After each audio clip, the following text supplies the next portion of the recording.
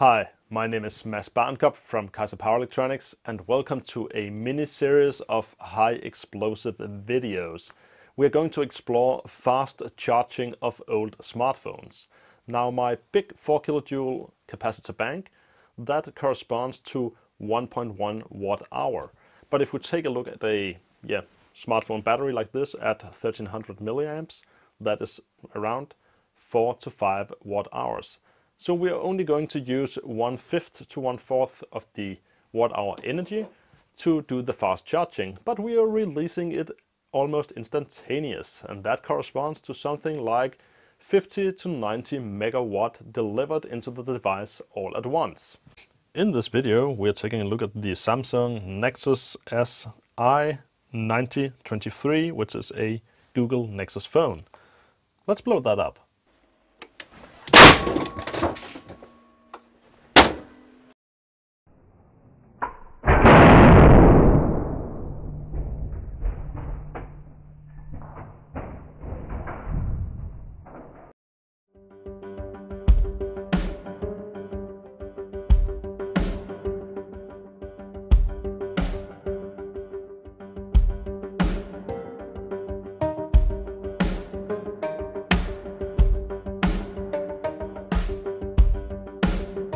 The Samsung Nexus Google phone, that took quite a beating. Now this was without a battery installed, but nonetheless, the explosion that happened inside of this unit blew it completely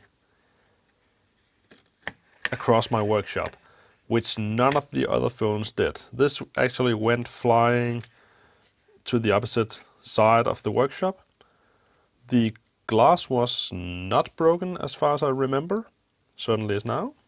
Can actually see here that the curved glass is actually a thicker glass at the bottom here and then get, gets thinner over here. That's actually quite interesting. I thought the curve was uh, a curved piece of glass and not actually from having a difference in size or thickness. So we have the a metal frame which has probably conducted quite a lot of the current.